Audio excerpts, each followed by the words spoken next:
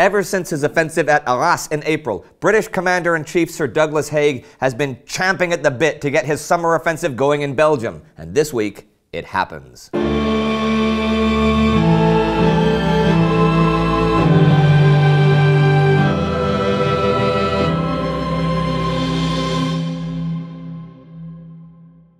I'm Indy Neidell. Welcome to the Great War. The shift from last week to this week marks the third anniversary of the outbreak of the war. There was a lot going on in the field. On the Eastern Front, the Russian retreat had turned into a rout with many men flinging down their rifles and abandoning the fight, while in Romania, Russian and Romanian forces were themselves pushing back the Central Powers. The Kaiser made a speech reaffirming his commitment to destroy what he called British world domination, and in Flanders, the preliminary barrage for the new British offensive was in full swing. And that offensive, the Third Battle of Ypres, also known as Passchendaele, began this week. The Allies could really use a period of dry weather, since the land in Flanders floods with the summer rains. But it had rained the 29th, and the artillery barrage from 3,000 big guns had seriously damaged the local drainage system in any case, so the land was really marshy. The weather on July 31st was overcast and cloudy. Zero hour was set that day for 3:50 a.m. So the battlefield would be in darkness, and because of the clouds, the Royal Flying Corps would be unable to really play a part. As the moment came the creeping barrage roared to life, the men went over the top. Nine British and six French divisions went forward on a 25 kilometer front, though A World Undone says it was 17 total. There were 17 more divisions in reserve. The French, under Francois Anthoine, were on the left. Herbert Plumer's Second Army was on the right to hold Messines Ridge as a pivot for the main thrust, and that was 10 divisions of Hugh Gough's Fifth Army in the center. Nearly half a million men were attacking. Opposing them were 20 divisions of the German Fourth Army in four clusters, nine near the front, six behind them, two at the rear, and three further behind. So Pretty much anywhere the Allies made a hole, the Germans could send up men to try and close it. Many of the British and French attackers made good progress, taking their first objectives with relative ease, and they found that a lot of the frontline German trenches had been obliterated by artillery.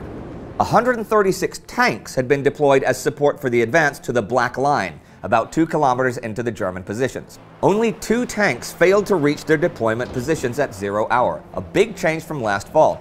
These were Mark IVs though, not Mark Is, but tanks didn't really make much of an impact this day. The ground was terrible for them, though the tank Crusader helped the Gordon Highlanders advance to the Black Line by taking out snipers and machine gun nests, and the tank Challenger patrolled the Black Line for most of the day, wreaking havoc on the Germans. But Mark IV tanks had a top speed of around 6 kilometers per hour, and the boggy ground slowed them to a crawl and made them major targets. This day thus became, and still is, one of the worst in history for the only just established British Tank Corps. Of the 52 tanks advancing with Gough's men, 22 broke down and 19 were put out of action. The most crucial point of the British Fifth Army's attack was on the Gheluvelt Plateau, but the ground was terrible there and the German positions were supported by artillery on reverse slopes. But still, some gains were made, though there were reports of men sinking up to their waists in mud and falling behind the creeping barrage. But what of the German defenders? Well, the foremost trenches had been garrisoned pretty lightly, with the majority of the defenses being in great depth and kind of deployed in a checkerboard pattern, as we've seen before, that offered the strong points mutual support. Thing is, the German units would signal for artillery help, but the flares often went unseen because of the weather so the front positions couldn't really do much to stop the assault. Still, German field guns on elevated ground to the north and south of the plateau, which would have been spotted by Allied aircraft without the clouds and fog, did their deadly work. By midday, German counterattacks had tilted the battle to their favor, but much like their enemy, they had serious problems with deployment and communications. A runner sent with vital information could take several hours to cross a few thousand meters. By late afternoon, Casualties were heavy on both sides, the troops were exhausted, and reserves were drying up. So the men were ordered to dig in, and the battle was ended for the moment. And it began to rain again. Gough had actually achieved some sort of success. Things hadn't maybe gone so well on his right, but elsewhere the Fifth Army had taken its first two objectives on time and without overwhelming casualties. In fact, In the first two days of the battle, they advanced more than the British had on any previous Western Front offensive. In one sector, four kilometers, and in another, three. Gough decided that his men were to try and push the Germans to the Green Line, the third objective, and another kilometer or so forward towards Polygon Wood by August 4th.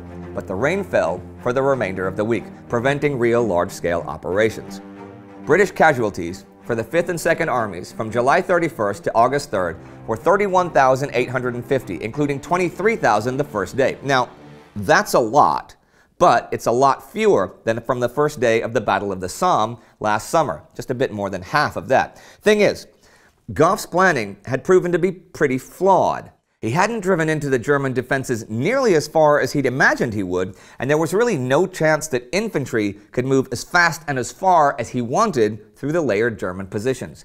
He certainly hadn't come near to taking Roulers, which was supposed to happen before the planned amphibious landing could take place, so that amphibious force just remained idle. Also, the continuing German hold of the Gheluvelt Plateau negated any chance of a breakthrough.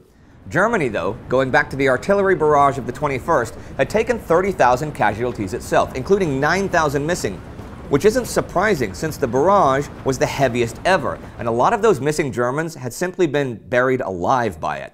And more than 5,000 Germans were taken prisoner between July 31st and August 2nd. A side note here. German Fourth Army estimated that on July 31st, its batteries fired off the equivalent of 27 ammunition trains, four times what was seen as heavy consumption at the Somme. And the Germans also had other things to worry about. On the 2nd, from the battleship Prinzregent Luitpold at Wilhelmshaven, a stoker named Albin Köbis led a mutiny of around 400 sailors into town with cries of, Down with the war!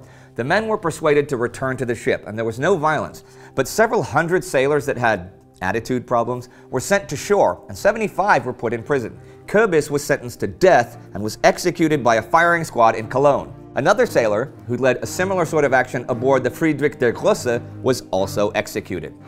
But there was now a spirit of mutiny among soldiers of both sides. In the Russian army and its now two-week-long retreat, many men were just refusing to fight. On the 1st, Russian Prime Minister and Minister of War Alexander Kerensky replaced General Alexei Brusilov as Army Commander-in-Chief with General Lev Kornilov. Kornilov had become a hero for the nation just a few weeks ago when the Russian offensive was making great strides, and Kerensky hoped this would not only raise morale in the army, but somehow stop its collapse. And at the end of the week, Chernovitz fell to the Central Powers forces. But things weren't going well for them elsewhere. The Battle of Marashti came to an end this week on August 1st, with a ringing Russian and Romanian victory over the Central Powers. In the 10 days of the battle, they had breached the enemy lines along a 35 kilometer front to a depth of 28 kilometers and had liberated some 30 villages. However, because of the Russian defeats in Galicia, much of the Russian forces were planned to soon be withdrawn to fight on their own territory, and German Field Marshal August von Mackensen planned an offensive of his own. And that was the week. An Allied victory in Romania, a continuing Russian retreat, and a new Russian army commander, a mutiny in the German Navy, and a major new Allied offensive in the West. With half a million men attacking. Just a spoiler, the total forces involved in the Battle of Passchendaele would be nearly 4 million men. 4 million men fighting each other and killing each other. That's more than the urban population of Berlin, of Madrid, of Buenos Aires. Heck, if you just count the city proper, it's more people than Los Angeles. And they were all soldiers, and they were all fighting each other day after day after day. Just think about that for a minute. I mentioned the book A World Undone by G.J. Meyer earlier. It is a fantastic book, one of my favorite books about the war, and a great source for our show. Of course, you can get it in our Amazon store by clicking the link below.